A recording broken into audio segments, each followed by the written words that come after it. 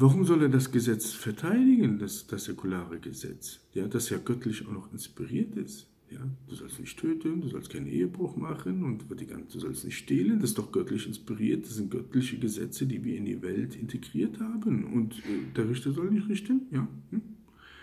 Du inkompetentes geistliches Wesen. Ja? Du Satansbrot. Du Heuchler.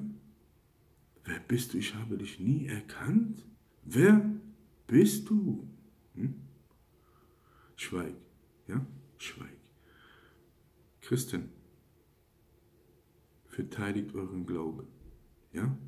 Und hört auf, auf diese Wölfe im Schafspelz zu hören, ja? Es gibt nur ein Gericht, eins.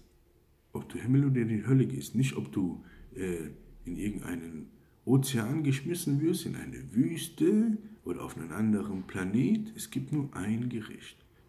Das dürfen wir nicht richten.